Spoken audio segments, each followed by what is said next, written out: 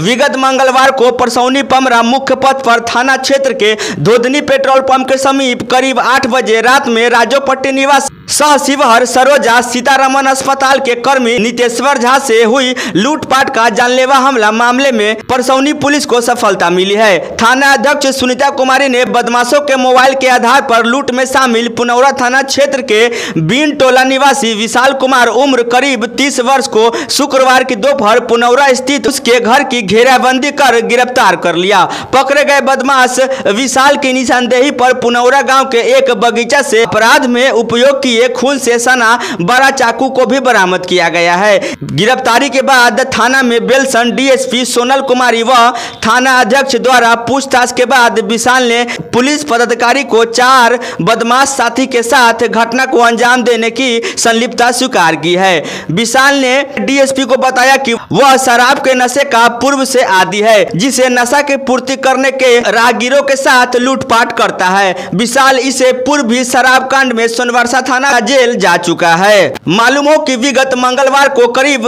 रात्रि आठ बजे अपने बाइक से नितेश्वर झा शिवहर से सीतामढ़ी अपने घर जा रहा था। इसी बीच धोधनी पेट्रोल पंप के समीप चार बदमाश ने बाइक से पीछा कर कर उसे रुकवा लिया था।